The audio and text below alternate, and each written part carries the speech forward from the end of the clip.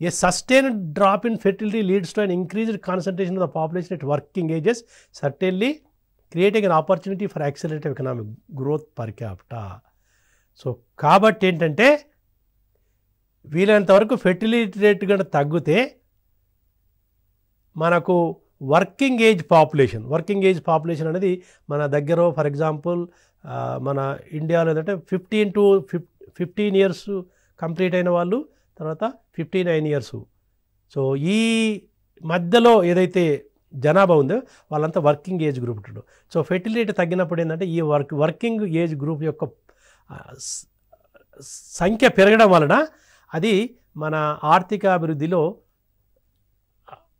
ఆర్థిక అభివృద్ధి దోహద యాక్సిలరేటెడ్ ఎకనామిక్ గ్రోత్ అంటే తలసరి ఆదాయం పెరుగుదలకు దోహదపడుతుంది. సో సఫ్ కోర్స్ ఇదంతా ముఖ్యంగా గ్లోబల్ లెవెల్లో చూసుకోవాలనుకుంటే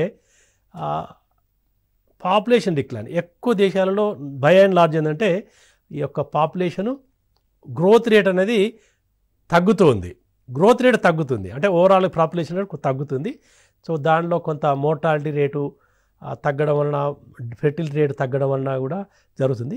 కొన్ని దేశాలలో ఈవెన్ పాపులేషన్ కూడా తగ్గుతూ వస్తుంది. Population absolute number okay so చాలా దేశాల్లో ఆబ్సల్యూట్ నెంబరు పెరుగుతుంది కానీ తగ్గు తక్కువ పెరుగుతుంది తక్కువ పరిణామాలు పెరుగుతుంది. బట్ కొన్నిటిలో ఈవెన్స్ అబ్సల్యూట్ కూడా తగ్గే అవకాశాలు ఉన్నది so population of sixty one countries are projected to decrease by one percent or more between two thousand twenty two and two thousand fifteen. అంటే అరవై దాదాపు అరవై ఒక్క అరవై ఒక్క దేశాలలో ఈ యొక్క జనాభా దాదాపు ఒక శాతం తగ్గే అవకాశాలు ఉన్నది ఎందుకంటే owing to sustained low levels of fertility and in some cases elevated rates of emigration అంటే దాదాపు ఏంటంటే ఫెర్టిలిటీ రేటు తగ్గడం వలన చాలా సస్టైన్డ్ కంటిన్యూ అవుతుంది. కొన్ని దేశాలలో ఫెర్టిలిటీ రేటు తగ్గడం వలన నీకు జనాభా ఏదైతే యూత్ జనాభా అనేది ఎంత ఉందో అది తగ్గుతూ వస్తుంది. సో తర్వాత కొన్ని దేశాలలో ఏంటంటే ఎమిగ్రేషన్ అంటే చాలామంది ఏంటంటే బయటకు కూడా మైగ్రేట్ కావడం జరుగుతుంది. సో మైగ్రేట్ కావడం వలన ఏం జరుగుతుందంటే ఈ ఈ దేశంలో అవైలబుల్ అనే వర్కింగ్ పాపులేషను తగ్గుతూ వస్తుంది. సో ఇవన్నీ కారణాల వలన ఏమవుతుందంటే జనాభా ఎక్కువ ఉన్న సమస్య ఎక్కువ పెరుగుతున్న సమస్య తక్కువైన పర్లేదు తక్కువ ఉన్న సమస్యలే. సో తక్కువ ఉండడం వలన ఏంటంటే కొన్ని దేశాలు ఫర్ ఎగ్జాంపుల్ జపాను అండ్ ఒక కొన్ని దేశాలలో ముఖ్యంగా యూరోపియన్ అండ్ ఈ దేశాలలో ఏమవుతుందంటే జనాభా తగ్గడం వలన ఏది ఫెర్టిలిటీ తగ్గడం వలన ఏంటంటే యువకుల సంఖ్య తగ్గడము ఈ యొక్క సిక్స్టీ ప్లస్ ఏజ్ గ్రూప్ వాళ్ళ సంఖ్య పెరగడం జరుగుతుంది. సిక్స్టీ ప్లస్ జనాభా పెరగడం వలన ఎందుకంటే మనము సిక్స్టీ ప్లస్ తర్వాత మనం వర్క్ అనేది వర్కింగ్ ఏజ్ గ్రూప్ అది నార్మల్గా అయితే కాదంటారు బట్ వాళ్ళపై ప్రెషర్ పడుతుంది. వాళ్ళు త- పని చేయాల్సిన అవసరం ఉంటుంది కొన్ని పని చేయలేకపోతుంటారు. ఇది దీనివల్ల అంటే ఉత్పత్తిపై ప్రభావం పడుతుంది. ఉదాహరణకు మనకి ఫర్ ఎగ్జాంపుల్ కొన్ని పరిశ్రమలు ఉన్నాయనుకోండి. పరిశ్రమలో పని చేయడానికి మనకు వర్కింగ్ ఏజ్ గ్రూప్ పాపులేషన్ కావాలి.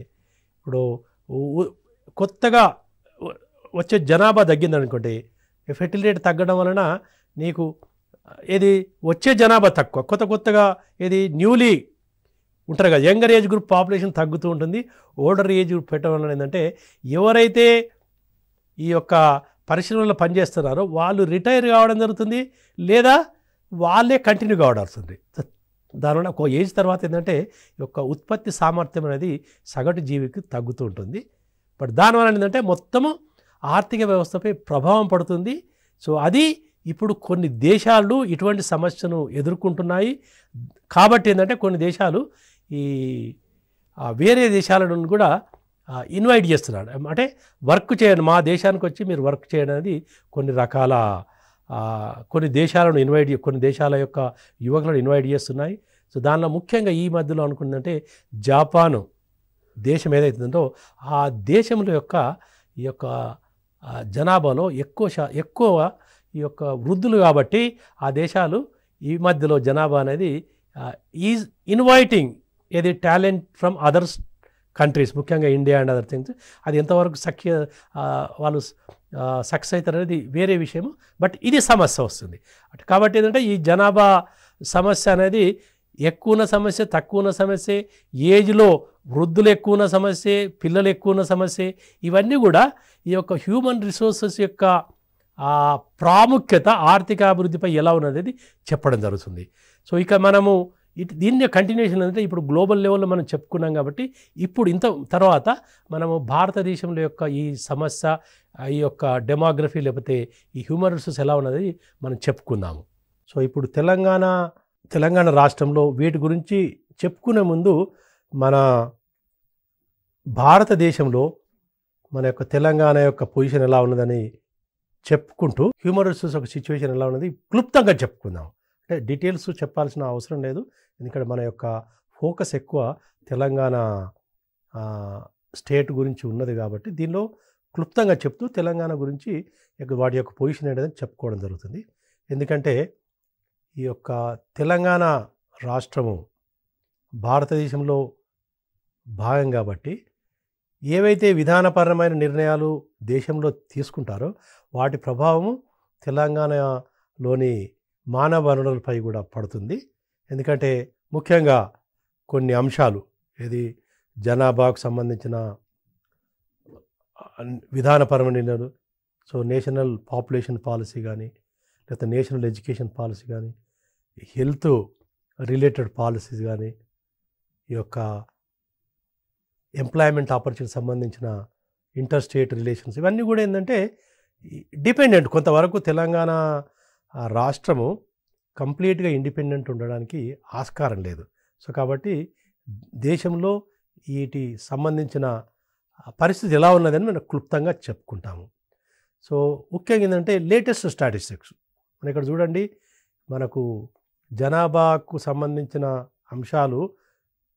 సో ప్రతి పది సంవత్సరాలు ఒకసారి సెన్సస్ రూపకంలో మనకు జనాభాకు సంబంధించిన విషయాలు ముఖ్యంగా డెమోగ్రఫీ సంబంధించిన ఇంకా ఫర్దర్ డీటెయిల్స్ కూడా సెన్సస్ ఆధారంగానే మనకు తెలుస్తాయి.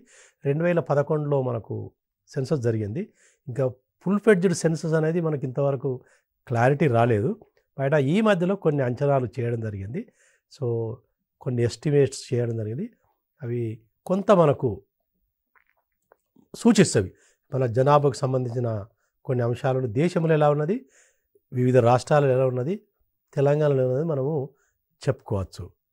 సో మనకు తెలుసు India is a federal union ఉన్నది కాబట్టి అక్క ఈ లేటెస్ట్ స్టాటిస్టిక్ ప్రొజెక్షన్ ఇది సెన్సస్ పాపులేషన్ ప్రొజెక్షన్ రిపోర్టు ఈ మధ్యలోనే విడుదలైంది.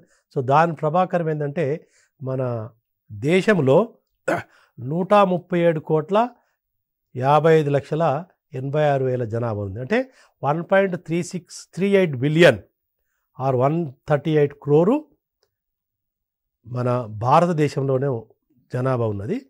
సో రెండు వేల పదకొండు సెన్సస్లో ప్రకారము ఇది నూట ఇరవై ఐదు కోట్లు. అంటే నూట ఇరవై ఐదు కోట్ల నుంచి మనకు నూట ముప్పై ఏడు కోట్లకు పెరగడం జరిగింది. సో మనం చూసాము దాదాపు గ్లోబల్ ప్రపంచంలో ఎయిట్ బిలియన్. సో ఎయిట్ బిలియన్లలో మన భారతదేశంలో one point three eight one point four billion ఒక భారతదేశంలోనే ఉన్నది. అంటే మీరు చూడండి one point four divided by eight ఎంత శాతము ప్రపంచ జనాభా మన భారతదేశంలో ఉన్నది అనేది దీన్ని బట్టి సో జనాభా ఏ విధంగా మన భారతదేశంలో కాన్సన్ట్రేట్ అనేది మనం సూచించడం జరుగుతుంది. సో అంటే ప్రపంచంలో జనాభాకు సంబంధించిన పరిణామాలు చెప్పుకుంటే అది మన భారతదేశం యొక్క జరిగే పరిణామాలు చాలా దోహదపడతాయి. ఎందుకంటే ఇక్కడ జరిగిన ఎందుకంటే సింహభాగము మన ఇండియానే. One point four one point four అంటే దాదాపు రెండు టూ పాయింట్ అంటే దాదాపు మూడు కోట్లు ఈ యొక్క చైనా ఇండియా రెండు దేశాలు కలిపితేనే దాదాపు మూడు కోట్లు. అంటే so three point two point eight out of eight. So మీరు చూడండి ఎంత కాంట్రిబ్యూట్ చేస్తున్నాయి అనేది సో దాదాపు థర్టీ ఫైవ్ ఫార్టీ పర్సెంట్ వరకు ఈ రెండు దేశాలే. సో మనం సో వీటిలలో మనకు తెలుసు ఎట్లయితే ప్రపంచంలో జనాభా వేరి అంటే ప్రాంతాన్ని బట్టి రాష్ట్రాన్ని బట్టి దేశాన్ని బట్టి వేరువేరుగా ఉన్నదో మనం చెప్పుకుంటాం అలాగే మన భారతదేశంలో కూడా ఈ యొక్క జనాభా అనేది అన్ని దేశాల్లో ఒకే విధంగా లేదు. ఒకే విధంగా అంటే జనాభా సంఖ్య లేదు. జనాభాను సంఖ్యను నిర్ణయించే ఫెర్టిలిటీ రేట్ కానీ ఇది మన మోర్టాలిటీ రేట్ కానీ ఇవన్నీ కూడా లేవు. ఇవన్నీ కూడా వేరువేరుగా ఉన్నది. సో కాబట్టి ఏంటంటే ఈ యొక్క దేశాలతోని మన రాష్ట్రాలలో పోల్చుకుంటే ఉత్తరప్రదేశ్లో మోస్ట్ పాపులేట్ స్టేట్ జనాభా అత్య అత్యధికంగా ఉన్న జనాభా అన్న రాష్ట్ర జనాభా అత్యధిక ఉన్న రాష్ట్రము ఉత్తరప్రదేశ్. కనిష్టంగా ఉన్న రాష్ట్రము Sikkim. So Sikkim is least populated state and Uttar Pradesh is most populated state. Okay? So Delhi is a union territory with the highest population and Lakshadweep is least అంటే యూనియన్ టెరిటరీకి వచ్చే వరకు కొంతవరకు. ఢిల్లీలో ఎక్కువగా ఉన్నది లక్షద్వీప్ ఏదో యూనియన్ టెరిటరీ ఇట్లా ఉన్నది. అంటే రాష్ట్రాలలో యూనియన్ టెరిటరీస్లలో ఈ సిచ్యువేషన్ ఉంది. ఈరోజు యూనియన్ టెరిటరీస్లో ఢిల్లీ. సో ఓవరాల్గా సినారియో చూసుకుంటే లేటెస్ట్ ఇన్ఫర్మేషన్ చూసుకునే వరకు సో ఇది ఇది one point three eight one point three seven కొంత సమయాన్ని బట్టి లైట్గా వేరియేషన్ ఉంది. ఓకే? సో వన్ కొన్ని అంటే కొంత slight but overall trend one point three seven అని ఇంతవరకు చెప్పుకున్నా. ఇప్పుడు వన్ పాయింట్ త్రీ ఎయిట్ అయినాయి చెప్తున్నారు. సో అంటే జనవరి అంటే ఎగ్జాక్ట్ డేట్ నాట్ ప్రొజెక్ట్ అయింది. సో ఇదివరకు ఏంటంటే one two thousand twenty one కింద ఉండొచ్చు. So India population in crores. So అంటే దాదాపు మనం ఆల్రెడీ నూట ముప్పై ఎనిమిది మూడు నూట ముప్పై తొమ్మిది కోట్లు టూ థౌజండ్ ట్వంటీ టూలో. అంటే నూట ముప్పై ఏడు టూ థౌజండ్ ట్వంటీ వన్ అనుకోవచ్చు మనం. సో దానిలో మేల్ పాపులేషన్ ఏంటంటే seventy one point six eight crores.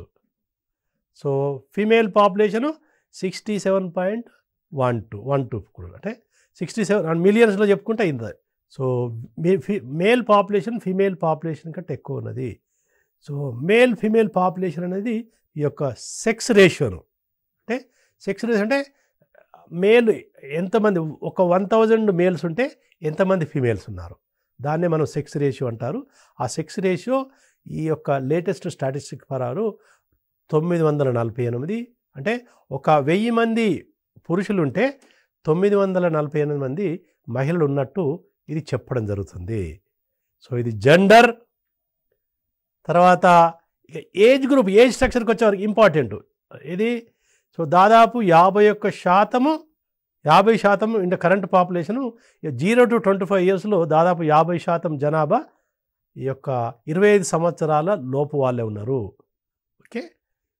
So దాదాపు సగటున ఇది ఒక నిమిషానికి మన ఇండియాలో బర్త్స్ యాభై ఒక్క బర్త్స్ జరుగుతున్నాయి. అంటే and average fifty one births are taking place in a minute. So చూడండి ఒక నిమిషంలో ఎంతమంది వస్తున్నారు? ఇది బ్రీఫ్గా. ఇంకా కొంచెం ఫర్దర్ డీటెయిల్స్ చూసుకుంటే ఫర్ ఎగ్జాంపుల్ ఇంత మునుపు ఒక దీని గురించి డెన్సిటీ. డెన్సిటీ అంటే సో మొత్తం ఒక కిలోమీటర్కు ఎంతమంది సగటు జనాభా నిర్ణ నిర్ణయిస్తున్నారు? ఇది సో నాలుగు వందల డెబ్బై మూడు point four two population per square kilometre అంటే స్క్వేర్ కిలోమీటర్లో ఇప్పుడు ప్రస్తుతం రెండు వేల ఇరవై ఒకటిలో నాలుగు వందల డెబ్బై మంది జనాభా నివసిస్తున్నారు. సో గ్రోత్ రేట్ అంటే పోయిన డికేడ్ టూ థౌజండ్ లెవెన్తో పోల్చుకుంటే టూ థౌజండ్ ట్వంటీ వన్లో జనాభా వృద్ధి రేటు దాదాపు జీరో పాయింట్ సిక్స్ అంటే అన్ యావరేజ్ అంటే సగటున ప్రతి సంవత్సరము six point six eight percentage పెరుగుతూ వస్తున్నది. సో బర్త్ రేటు అంటే one thousand పాపులేషన్కి birth rate sixteen point four two births okay latest statistics ప్రకారం ఎందుకంటే మనం ఇదివరకు చెప్పున్నాం బర్త్ రేట్ డెత్ రేట్ ఏంటంటే నైన్ పాయింట్ ఫోర్ టూ సగటున వన్ ఒక వెయ్యి జనాభా ఉంటే దాంట్లో మరణించే వారి సంఖ్య సగటున నైన్ పాయింట్ ఫోర్ టూ ఉన్నది ప్రస్తుతం. అంటే గత సంవత్సరంలో చూసుకుంటే ఇట్లా ఉన్నది.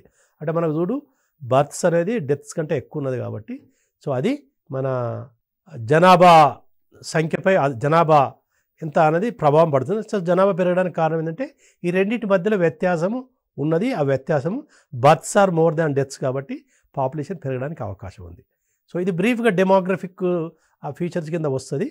దేశంలో మనం ఆల్రెడీ చెప్పాము ఏ దేశాల్లో ఎక్కువ ఉన్నదంటే పది ఏ రాష్ట్రాలలో ఎక్కువ ఉన్నదంటే సో మోస్ట్ పాపులర్ స్టేట్స్ అంటే ఒక పది రాష్ట్రాలు మొత్తం రాష్ట్రాలలో మన లార్జెస్ట్ స్టేట్స్ ఫస్ట్ యూపీ ఇరవై మూడు పాయింట్ మూడు మూడు రెండు కోట్లు. అంటే మీరు చూడండి వన్ పాయింట్ అంటే థర్టీ వన్ థర్టీ ఎయిట్ క్రోర్లలో వన్ థర్టీ సెవెన్ క్రోర్లలో ఇరవై మూడు కోట్లు ఒక్క ఉత్తరప్రదేశ్లోనే ఉన్నారు. మీరు చూడండి ఎంత శాతం చెక్ చేసుకోవచ్చు. తర్వాత మహారాష్ట్ర బీహారు వెస్ట్ బెంగాలు మధ్యప్రదేశ్ రాజస్థాన్ తమిళనాడు గుజరాత్ కర్ణాటక ఆంధ్రప్రదేశ్. ఈ రాష్ట్రాలలో ఎక్కువ జనాభా ఉన్నది. Ten largest states. సో వీటిలలో. వీటిలలో మన తెలంగాణ లేదు. అంటే తెలంగాణ ఇది not a that largest list కాదు. అంటే తర్వాత ఉన్నది. దాని విధంగా so it is less than five point three crores ఎంత ఉందో ఖచ్చితంగా మనం తర్వాత చెప్పుకుందాము. సో సో తర్వాత లీస్ట్ పాపులేషన్ అసలు జనాభా కనిష్టంగా ఉన్న దేశాలు. పదహారు కనిష్టంగా ఉన్నది మనం ఆల్రెడీ సిక్కిం అని చెప్పాము. సిక్కిం తర్వాత మిజోరాం అరుణాచల్ ప్రదేశ్ గోవా నాగాలాండ్ మణిపూర్ మేఘాలయ త్రిపుర హిమాచల్ ప్రదేశ్. సో సో దాదాపు ఒక గోవాను మినహాయిస్తే మిగతా అన్ని అది ఒకటే ప్రాంతంలో ఆ నార్త్ నార్త్ ఈస్టు ఆ ప్రాంతంలోనే ఉన్నాయి. ఇవన్నీ ఆ ఆ- దేశంలో నార్త్ నార్త్ ఈస్ట్ ప్రాంతంలో ఇవన్నీ దేశాలు ఉన్నాయి సో దాంట్లో కనిష్టంగా కనిష్టంగా అంటే ఫర్ ఎగ్జాంపుల్ సిక్కింలో ఆరు పాయింట్ ఏడు ఏడు లక్షలే. సో మీరు ఇక్కడ చూడండి సిక్కింలో ఆరు పాయింట్ ఏడు ఏడు లక్షల తర్వాత ఉత్తరప్రదేశ్లో ఇరవై మూడు పాయింట్ మూడు మూడు రెండు కోట్లు. సో రెండు రాష్ట్రాలే. సో ఈ రెండింటి మధ్యలో చూడండి ఎంత అంచనా ఉంది? అంటే ఈవెన్ థర్టీ టూ ల్యాక్స్ కూడా లేదు. అంటే ట్వంటీ త్రీ పాయింట్ త్రీ అంటే ఈవెన్ పాయింట్ త్రీ టూ కూడా లేదు. అంటే చాలా చూడు ఈ మధ్యలో అంతరం అనేది మనకు చాలా విషయాలను చెప్తుంది. అంటే కనిష్ట పాపులేషన్ లీస్ట్ అంటే లక్షణాలనే ఉంది చిన్నగా. సో వీటిని బేరీజ్ చేసుకున్నప్పుడు మన దగ్గర ఎందుకంటే ఈ దేశాలు జనాభా పరంగా మంచి డెవలప్ కావాలంటే ఇతర ఏవైతే వనరులు ఉన్నాయో ఆ వనరులను సద్వినియోగం చేసుకున్న అవసరం ఉంటుంది. ఆ వనరులు ఎలా ఉన్నాయనేది నిర్ణయిస్తాయి ఆ వనరులతో ఈ వీటితో పాటు వనరులు కూడా మనకు కొంత అభివృద్ధికి దోహదపడతాయి. So for example Sikkim basically largely ఎక్కువ ఆ, విస్తీర్ణతగా ఉంది. ఎక్కువ అంటే స్క్వేర్ స్క్వేర్ అంటే ఎక్కువ ఎక్కువ ప్రాంతము కలిగి ఉన్నది బట్ తక్కువ జనాభా ఉన్నది. సో ఉత్త దానికి భిన్నంగా ఉత్తరప్రదేశ్ కొన్ని రోజులు రాష్ట్రాల్లో తక్కువ ప్రాంతము ఎక్కువ ధనం. ఇది కూడా ఇంకా త్వరలో చెప్పుకునే సూచికపై ప్రభావం కలిగేస్తుంది so there are most populous and least populated states so కాబట్టి మీకు ఏదన్నా ప్రశ్న వచ్చిందనుకోండి so order them according to ascending order of population as per the latest statistics అని చెప్పండి అడిగింది అనుకోండి సో రెండు మూడు రాష్ట్రాలు ఇచ్చారు అనుకోండి లీస్ట్ పాపులర్ స్టేట్స్ అంటే మీరు అరేంజ్ చేయొచ్చు. అలాగే మోస్ట్ పాపులర్ స్టేట్స్ కూడా అసెండింగ్ ఆర్డర్ డిసెండింగ్ ఆర్డర్ అనేది చెప్పడానికి అవకాశం ఉంటుంది. ఇటువంటి ప్రశ్నలు మనకు వచ్చాయని కూడా ఆర్డర్ చేస్తూ చెప్పుకోవడానికి అవసరం ఉంది. దట్ ఈజ్ ఓకే ఇక మోస్ట్ పాపులర్ లీస్ట్ పాపులేట్ నిర్ణయించే అంటే how the population is growing. అంటే సో గత ఫర్ ఎగ్జాంపుల్ టూ థౌజండ్ లెవెన్ను పోల్చుకుంటే టూ థౌజండ్ ట్వంటీ వన్లో జనాభా ఎంత పెరిగింది? అంటే రెండు వేల పదకొండు నుంచి రెండు వేల ఇరవై వరకు జనాభా ఎంత శాతము ఆబ్సల్యూట్గా పెరిగింది మొత్తం. అంటే ఆ సంవత్సరం నుంచి ఈ సంవత్సరం వరకు జనాభా ఎంత ఉందో అది శాతంగా చెప్పుకుంటే అంతే ఉంటుంది. సో ఇక్కడ ఏంటంటే మనకు ఏదైతే మోస్ట్ పాపులర్ లీస్ట్ పాపులర్ స్టేట్లో మనకు గ్రోత్ రేటు కొంత భిన్నంగా కనబడదు. ఏ ఏవైతే రాష్ట్రాల్లో గ్రోత్ రేటు ఎక్కువ ఉన్నదో వాటిల్లో మనం లిస్ట్ చేసిన స్టేట్లు టాప్లో లేవు. అవి కూడా ఉన్నాయి కొంతవరకు కానీ టాప్ టాప్లో ఫర్ ఎగ్జాంపుల్ మనకు Bihar tops tops the most ఏది? India's growth rate is highest in Bihar. So ఇండియాలో మొత్తంలో twelve point five six percent పెరిగింది. రెండు వేల పదకొండు రెండు వేల ఇరవై ఒకటి మధ్యలో జనాభా శాతము twelve point five six percent. అంటే రెండు వేల పదకొండులో ఒక వంద జనాభా ఉంటే ఇక్కడ వచ్చే వరకు దాదాపు నూట పన్నెండు. లేకపోతే నూట పదమూడు అనుకోండి. ఓకే? అంటే ఒకవేళ అది పదివేలు ఉందనుకోండి అక్కడ. రెండు వేల పదకొండులో పదివేలు ఉంటే ఇక్కడికి వచ్చేవరకు ఏంటంటే పదకొండు వేల రెండు వందల యాభై ఆరు ఉండే అవకాశం అట్లా. అంటే అది పెరిగినట్టు అట్లా. సో దాంట్లో Bihar eighteen point one six percent Jharkhand Haryana Madhya Pradesh Rajasthan Gujarat తర్వాత ఛత్తీస్గఢ్ ఉత్తరప్రదేశ్ ఉత్తరాఖండ్ అస్సాం. సో ఉత్తరప్రదేశ్ చూడండి seventh rank. But it the most population state but in growth rate it is seventh in order. అంటే seventh in order. And compare to other states so UP growth rate is less and Bihar చాలా ఎక్కువగా ఉన్నది. So తర్వాత ఇవన్నీ చూసుకోండి. ఈ రాష్ట్రాలన్నీ చూడండి ఇది ఒక విధంగా చూడండి ఈ రాష్ట్రాలన్నీ కూడా నార్త్ ఆర్ నార్త్ ఈస్ట్ స్టైల్లో ఉండండి. అంతే కదా? నార్త్ వెస్ట్ ఈ సైడ్లో కూడా. బట్ సదర్న్ పార్ట్ ఏ రాష్ట్రం కూడా సౌ సౌత్ సౌత్ ఇండియాలో ఏ రాష్ట్రం కూడా ఆ పాపులేషన్ గ్రోత్ రేట్లో టాప్ గ్రోత్ రేట్లో లిస్ట్ కాలేదు. సో అంటే ఏంటంటే southern states are I don't know. Growth rates మనం తక్కువ ఉన్నాయని అనుకుంటే వీటితో వీటి రాష్ట్రాలతో పోల్చుకుంటే తక్కువ ఉన్నది. అంటే so that way I think south states are some time they say they are faring better in population growth when compare to north states so north స్టేట్లో కూడా కొన్ని ఫర్ ఎగ్జాంపుల్ బీహార్ మధ్యప్రదేశ్ ఈ రాష్ట్రాలు కొంత ఎక్కువ గ్రోత్ రేట్ను కలిగి ఉన్నాయి. సో అది సో అట్లా అంటే ఇవన్నీ కూడా చూడండి ఒకసారి మనం బీమార్ స్టేట్స్ అని కూడా ఉంటారు బీమార్ అంటే బీహార్ మధ్యప్రదేశ్ రాజస్థాన్ ఉత్తరప్రదేశ్ ఏవైతే ఎక్కువ రాష్ట్రాలు బీమార్ స్టేట్స్ అని ఒకప్పుడు మనం పరిగణించలో ఆ రాష్ట్రాలలో ఈ హై గ్రోత్ రేట్ అనేది కొంత ఎక్కువ ఉన్నట్టు ఈ లిస్ట్లో మనం చూసుకోవచ్చు ఎందుకంటే బీహార్ తర్వాత రా రాజస్థాను ఉత్తరప్రదేశ్ ఈ మూడు నాలుగు దేశ మూడు నాలుగు రాష్ట్రాలు ఈ యొక్క బీమార్ స్టేట్లో భాగంగానే ఉన్నాయి ఒకప్పుడు.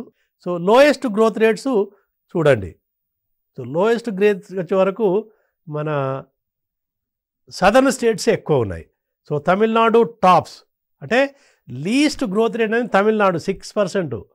సో మీరు అక్కడ చూడండి అక్కడ ఎయిటీన్ పర్సెంట్ ఎక్కడ ఇక్కడ సిక్స్ పర్సెంట్ ఎక్కడ.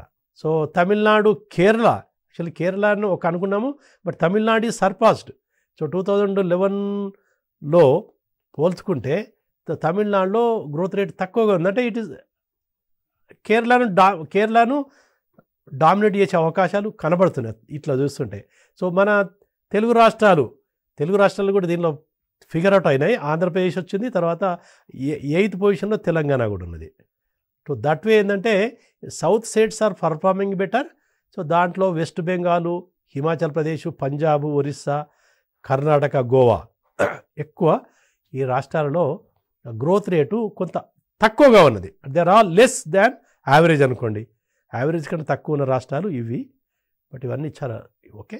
So growth rate ఈజ్లో in the states particular in southern states with in southern states Tamil Nadu top the list okay but our Telangana యొక్క ర్యాంకు లీస్ట్ పర్ఫార్మింగ్లో దానిలో ఎయిత్ పొజిషన్ ఉంది. అంటే least growth రేట్లో seventh eighth position ఉంది. Okay so so that way it is less than double digit so double digit ఇవన్నీ ఏంటంటే first ఈ ten states double digits ఉన్నాయి. సో ఇవేంటంటే ఇవన్నీ single డిజిట్స్లో so Goa almost near double డిజిట్స్కి వచ్చింది. So this one. So కాబట్టి ఏంటంటే కంపేర్ చేసుకున్నప్పుడు మనము ఈ యొక్క జనాభాకు సంబంధించిన హ్యూమన్ రిసోర్స్ సంబంధించిన ఈ అంశాలను చేసుకున్నప్పుడు ఏంటంటే ఈ రాష్ట్రాలలో యొక్క జనాభా వృద్ధి రేటు ఇలా ఉండడం వలన హ్యూమన్ రిసోర్సెస్ ఎలా ఉన్నది. ఫర్ ఎగ్జాంపుల్ మోస్ట్లీ మనము కేరళ గురించి కోడ్ చేస్తాము హ్యూమన్ రిసోర్స్ సంబంధించినప్పుడు. ఎందుకంటే మోస్ట్ ఎడ్యుకేటెడ్ హెల్త్ పరంగా చూసుకుంటా జీవన ప్రమాణ స్థాయి చూసుకున్నప్పుడు కేరళ గురించి కొంతవరకు ఎడ్యుకేషన్ సంబంధించిన తమిళనాడు గురించి కొన్ని కొన్ని అంశాలలో హిమాచల్ ప్రదేశ్ గురించి కూడా మనము మనం కొంత పాజిటివ్గా చెప్పుకోవడం అవసరం ఉంది హ్యూమర్ సంబంధించి. ఎందుకంటే ఈ దేశాలలో ఈ రాష్ట్రాలలో యొక్క జనాభా వృద్ధి రేటు కనిష్టంగా ఉన్నది. సో ఇంకొక అంశము ఓకే, ఇది వృద్ధి రేటు ఇంతవరకు వృద్ధి రేటు జనాభా ఎలా ఉన్నది అంటే ఇంకోటి ఏంటంటే డెన్సిటీ సో డెన్సిటీ అంటే డెన్సిటీ భౌలిక పరిమాణము అండ్ జనాభాకు రెండిటికి కలిపే యొక్క ఏదో సూచిక ఉంటుందో డెన్సిటీ అంటే ఒక సగటున ఒక కిలోమీటర్లో ఎంతమంది జనాభా నివసిస్తున్నారు? ఎందుకంటే ఎక్కువ. ఎంత ఎక్కువ ఉంటే ఈ యొక్క సహజ వనరులపై అంత ప్రభావం కలగజేస్తుంది. ఎందుకంటే ఈ యొక్క భౌలిక పరమనంటే అంటే మనము భూమి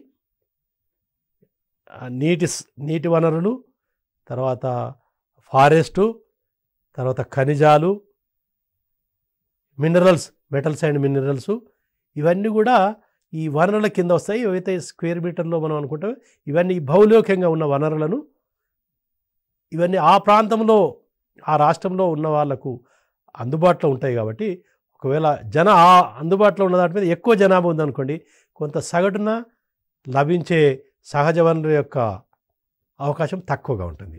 సో దీంట్లో పోల్చుకుంటే హయ్యెస్ట్ డెన్సిటీ అంటే డెన్సిటీ అనేది ఎంత ఉండాలనేది కొంత ప్రశ్నార్థకంగా ఉన్నప్పుడుగా అనుకున్నప్పుడు కొంత తక్కువగా ఉంటాయి కనిష్ కొంచెం తక్కువగా ఉంటే బాగుంటుంది అనేది మనము చెప్పుకుంటాము.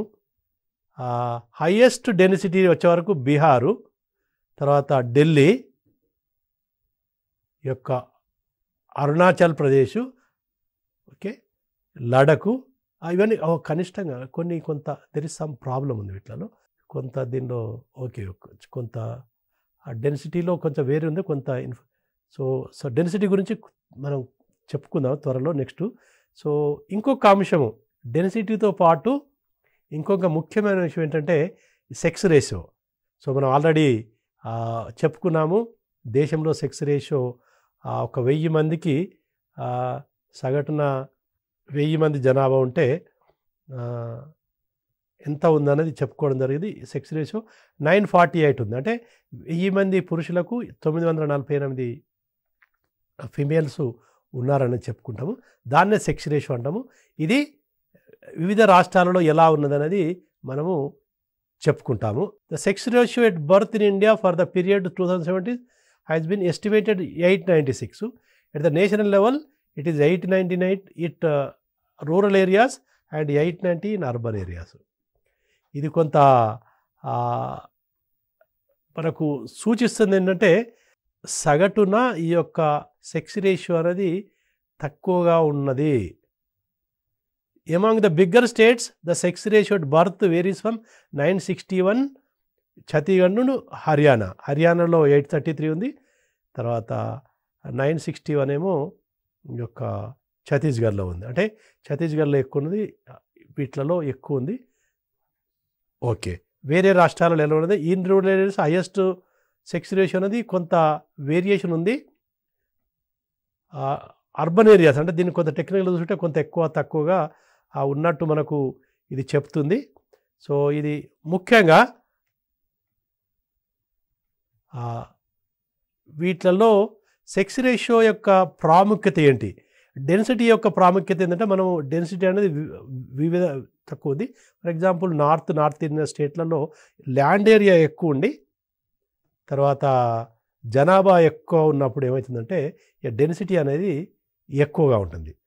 డెన్సిటీ ఎక్కువ ఉన్న దాంట్లో ఫర్ ఎగ్జాంపుల్ ఈ యొక్క రాష్ట్రాలలో కూడా కొన్ని రూరల్ ఏరియాస్తో పోల్చుకుంటే అర్బన్ ఏరియాస్లో హై కాన్సన్ట్రేషన్ ఉంటుంది. హై కాన్సన్ట్రేషన్ అంటే కొంత వివిధ ఇది వనరులపై ప్రభావం చూస్తుంది. ఎక్కువ జనాభా ఉందనుకోండి ఉదాహరణకు అర్బన్ ఏరియాస్లో అది ఇది యొక్క వాటి ఉన్న వనరులపై సదుపాయాలు కల్పించడం కొంచెం ఇబ్బందులు కలుగుతున్నాయి. అంటే concentration of population in a particular pocket poses problem for development.